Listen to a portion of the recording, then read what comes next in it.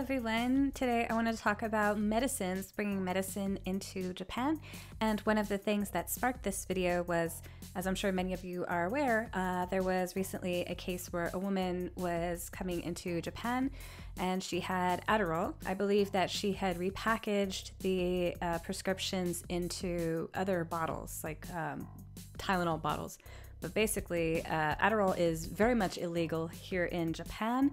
And what happened with her was that she was arrested and subsequently deported. And I really don't want that to happen to any of you. So here's a rundown about bringing medicine into Japan.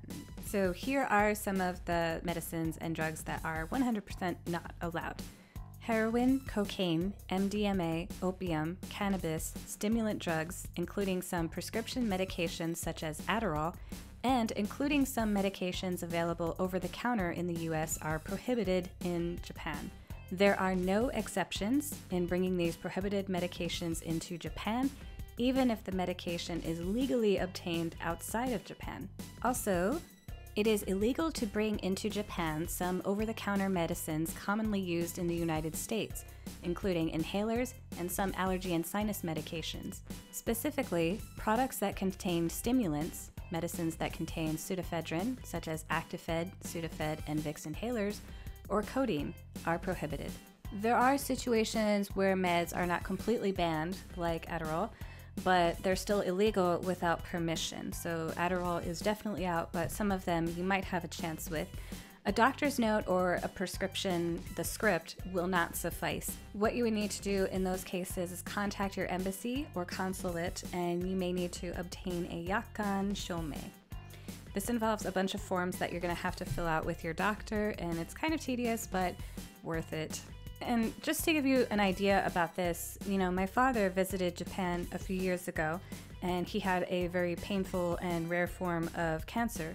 So I'm sure that you can imagine that some of his medication would be a no go here. And but uh, he got permission for all of it. Uh, he got the Yakkan Shomei, and he also got a special license for some of it as well.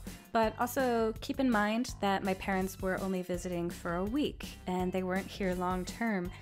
So, if you want to be here longer, you may need to get special permission for your medication, even if it's not as serious as what my father had. If you don't get permission, you can't bring them here. That's it. There, there's no way around it. Um, perhaps there are alternative medications that you can try, and I hope that you will. If there's just no way that you can go without these medications uh, that aren't accepted into Japan, Unfortunately, you may have to reconsider your plans for coming into Japan, and that's a very hard decision to make. So, you may need to make some changes uh, to your medications when coming to Japan, and that's okay. That's no big deal. We can work with that. There are some resources in the description box below. I'll leave those links for you where you can contact medical professionals in Japan and see uh, if there are some kind of alternatives or if your medication it will be available for you. Or you could take one of my consultations that I will talk about at the end of this video. There usually are alternatives available for you. So if you do a bit of research, you can find medication that will suit your needs and possibly even work out better for you or cause less stress to your system. My friend Kat is a YouTuber here in Japan and a longtime resident and often has a travel agency caliber advice and information. And she says, the problem that I ran into was many posts online about how pseudoephedrine is illegal and therefore does not exist in Japan. However, this too would turn out to be misinformation.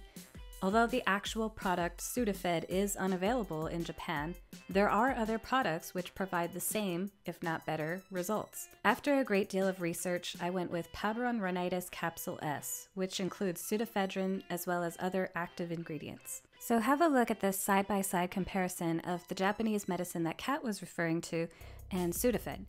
The ingredients listed were found on their respective makers' websites. Note that Rhinitis Capsule S can be taken up to three times a day, so this would exceed the dosage of pseudoephedrine found in Sudafed 12 hour. However, you can take two Sudafeds in a day. So they're not the same, but they're not really all that different. For diabetics and those with extreme allergies needing syringes or EpiPens, and those with CPAP machines, you'll need one of those Yakkan Shomeis. So uh, there may be additional steps to go through uh, for your own country as well as other countries that you visit along the way.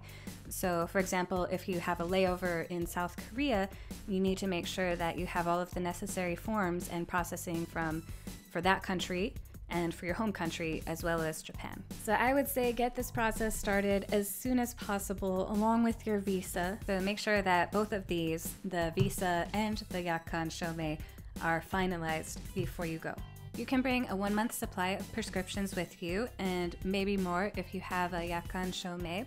So, just a quick note on cosmetics and toiletries, since they are closely related to bringing medicine. Uh, passengers may bring a maximum of 24 personal sized pieces per type of cosmetic articles into Japan. So that means that you could bring a maximum of, let's say, 24 lipsticks, even if they're different shades or brands or anything. Uh, so 24 is the magic number for each thing. In addition to all of this information, please refer to my previous video on questioning, interrogations, and deportation. So here are some tips on how to avoid trouble, and some of them are similar to ones that I mentioned in my previous video. Double check everything, all of the rules, make sure that all of your medication is good to go, and uh, ask people from your local embassy or consulate if you have any questions. This includes checking individual medications, so whether it's over the counter or prescription. So, as I mentioned earlier, things like Sudafed and NyQuil are not allowed over here. It's best if you keep your over the counter medications sealed and in their original packaging. Don't ever repackage medicine. That's a paddling. So be honest about your medication, don't repack it, and you're gonna get in so much more trouble if, or rather, when they find out. When verifying everything, make sure to get everything in writing from prescriptions to uh, consulate names and contact numbers, everything. Uh, be super detailed about this. Uh, respect the laws and etiquette of other countries by doing your research beforehand. In addition to the extra documentation required for your medication, be sure to have the prescription on the bottles and uh, you know some kind of script uh, with it, along with uh, keeping your passport on you and your residence card. And for more information, there are links in the description box below, so please check those out. And if you have any other questions, please feel free to let me know or take one of my consultation lessons on cafetalk.com. Uh, everything you tell me is confidential, so don't worry. And as a bonus tip, if you would like some lucky boxes from Japan full of goodies, please hit up my Patreon. I hope that you have a comfortable stay here in Japan with all of the medication that you might need. So please be sure to like, subscribe, and share this video with your friends. And thank you so much for watching. Bye!